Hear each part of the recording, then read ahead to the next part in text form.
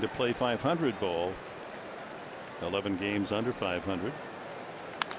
There's a line shot to right center field. That's a base hit. Quick fielding by Denorfia. Blanco's going to test his arm. Here's the throw. Oh! And he is out of there. Denorfia continues to pile up the assists from all three outfield positions. As Blanco took a chance on Denorfia's arm, I guess they haven't uh, scouted his uh, throwing talent because that was just made to order for Chris. Fundamentally sound out there in the outfield, whether it's left field, right field. Now he's got to go away from this ball. He's going to the gap. He's got to get in front of it and then fires a strike. Nothing wrong with the one hop. Not even close. Amarista sticks with him because he misses him the whiff on the first tag. But we saw Chris Denorfia in Pittsburgh.